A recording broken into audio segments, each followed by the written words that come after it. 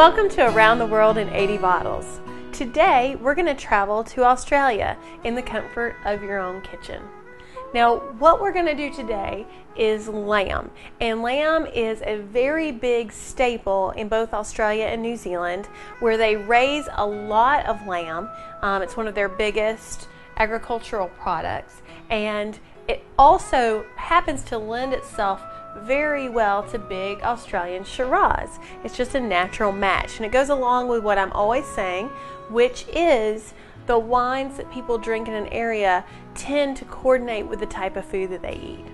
So, today we're going to do some Kilikanoon Shiraz, which is one of my personal favorites, and we're going to serve the Killerman's Run with the dish. But we're going to use the Lackey, which is their entry level Shiraz, in the dish because we want the flavors to work really well, but we're going to save our um, $20 bottle for when we're going to actually drink it and not cook with it. To me, this is one of the recipes where it's worth it to splurge just a little bit on the wine you're drinking because you're really going to get that flavor. This is not something that we're going to pour off and just use as a marinade.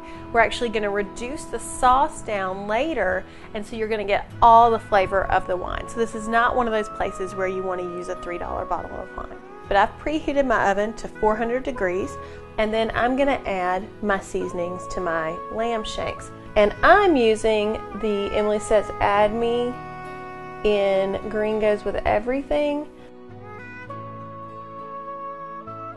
I'm going to use an entire head of garlic as well. Now this is really easy because we're going to strain this after we make the sauce. So what you want is just a little extra flavor. So I just throw those whole cloves in there. Try to get some of the skins off. Don't have to go too crazy. And then I've got about a quarter of an onion. I've just chopped it up as big as you can imagine. And then we've got some chicken stock. You can use any kind of stock you want. Put that in. And then our secret ingredient. Now the wine that we're going to serve this with is Kilikanoon Killerman's Run Shiraz from the Clare Valley. And what I've chosen to do is another one of their Shirazes, their Lackey, which is their entry level. And that's because I don't want to waste my Killerman's Run in the oven, but I do believe that you should never serve something or never cook with something that you wouldn't serve. Now I'm going to use half a bottle. Now you, you can tell when you turn it up sideways, you want it to go exactly halfway up the punt. I'm using an entire half bottle here. If you're going to do four lamb shanks, you will use the whole bottle. Once again, this is a recipe where we're going to not just use the wine to cook our lamb, but we're actually going to reduce the sauce when we're finished, and we are going to be serving that in our finished product. So this is one where you don't necessarily want to use that two or three dollar bottle of wine. You don't have to use a thirty dollar bottle, but you're going to be eating this, so it's not just a byproduct of the cooking. I think it's a good place to maybe splurge a little bit. Plus, it's lamb. I mean, isn't it fun to splurge a little bit when you're serving lamb anyway? Now that this is ready, I'm going to put a lid on it and put it in the oven, and we're going to leave it alone for two and a half hours.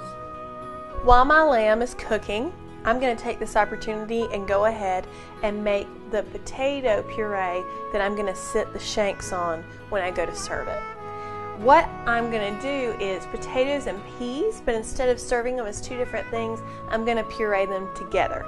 And the reason I want to do that instead of just plating some peas and some potatoes next to each other is you want something that your leg of lamb can stand up in when we go to drizzle out that wonderful Shiraz stock on top of it. I'm going to boil the potatoes and then I'm going to barely blanch the green peas. Then take those two and I'm going to mash them up just like I would mashed potatoes on their own, but it's going to give it extra color and flavor from the peas. Now, one of the things I do to make this stand out, because let's face it, you've got lamb shanks and wine and stock and garlic, so you don't want this to be a really boring part of the plate, but it doesn't need a lot of flavor because you have so many other flavors going on, and when we're going to make that wonderful sauce on the top. So I'm going to simply do something like when I make mashed potatoes with a little bit more chicken stock and some butter, but I'm going to add some roasted garlic. And roasting the garlic is going to give it extra flavor. The easiest way to roast garlic while you're already cooking something in your oven is to take that whole head of garlic and put it on a piece of aluminum foil. And then I just kind of go over it a couple times with some olive oil. And you take that and just wrap it up into a little pouch. And I'm going to put that in our oven, which is at 400 degrees, and I'm going to roast that for 30 minutes. I'm going to take it out and let it cool, and then I'm just going to add it to the mashed potatoes, which is going to give it a little extra kick. So, we're going to come back and check on that once the lamb gets a little more done. The great thing about this recipe is if you have people coming over to your house, the time that it's going to take to cook will give you plenty of time to clean up, get ready, set the table, because you need to put it in the oven for at least two and a half hours. Somewhere during that time, you might want to turn the lamb because as the juice boils down, you're going to have some exposed parts. So I like to go in there after about an hour and a half and just flip it over. And then that gives me a chance to say, okay, well, I might leave it in the oven for an extra 30 minutes. You can't overcook this as long as you keep moisture on it. So, I've taken the lamb, put it on a baking sheet, and covered it with aluminum foil, like a little tent to keep it hot, and then put our sauce back in the oven. And we want to reduce that by about a third to a half so it becomes this rich, thick sauce. Um, not super heavy, but it needs to have some good viscosity to it. Otherwise, it's going to kind of swim around on the plate. So, we want to strain out all those garlic, um, garlic cloves, all of our onions, and then put it back on the stove and add some Emily G's peach marmalade jam. Now, this is the food item that we are experiencing this week because it really adds something extra to our sauce. The peaches and the oranges really give it that zesty tang to the sauce that could be a little heavy and rich. So you've got the garlic and the Shiraz balanced with this nice, light, fruity, citrusy component, and it really adds something. So we've stirred that in, cooked it down, reduced the sauce, and now we're ready to plate everything together. Now you'll remember our wonderful potato pea puree, which is nice and thick, and we're just going to make a little mound in the middle of our plate.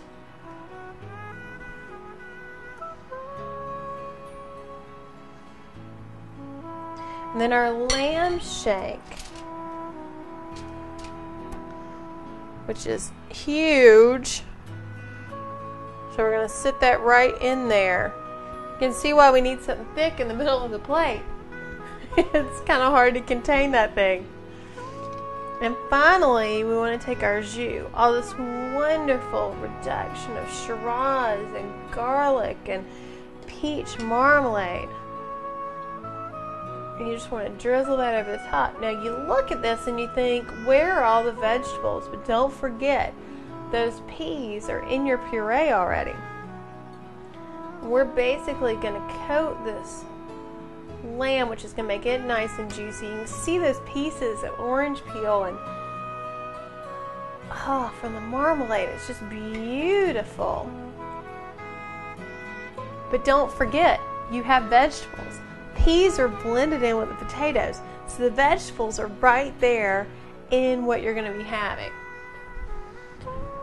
Now, what I've chosen to put this dish with is Kilikanoon Killerman's Run Shiraz, which is from Clare Valley, South Australia, as I mentioned earlier, and they make the Lackey, which is what we use for our sauce. And the Killerman's Run's a little bigger, a little richer, tiny bit more oak to it, just a little more pow. And we need that with a dish like this that has so much flavor. Some of that potato puree in here.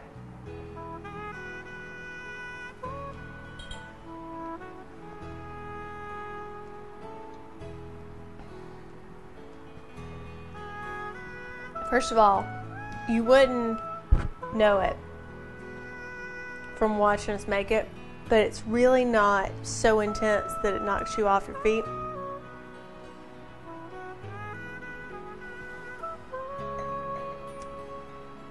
Oh, but the wine just elevates it. Once again, it just has that oomph to it that when you add in the jus and the lamb and all the flavors from potatoes, mmm, it's just you you'd think, oh, I've cooked this lamb for two and a half hours. It's gonna be too heavy, too intense, and it's really just beautiful. Mmm. A lot of it's the peach. Just softens it. And then you get this wine, and it's like, pow, right there in your mouth. Mmm. Welcome to Australia, my friends. I love this, and I hope you'll love this. I hope you'll try it at home. It's super easy. Throw in the oven, forget about it for a couple hours, and then reward yourself with a fantastic dinner. So, thanks again for joining us this week for Around the World in 80 Bottles. And just a little hint for you if you have almost all your lamb, you don't quite finish the dinner, next week we're going to do a fantastic pizza using lamb that I had when I was in Australia. And so you can just save that and save a step when you're cooking. And we will continue next week on Around the World in 80 Bottles. Cheers!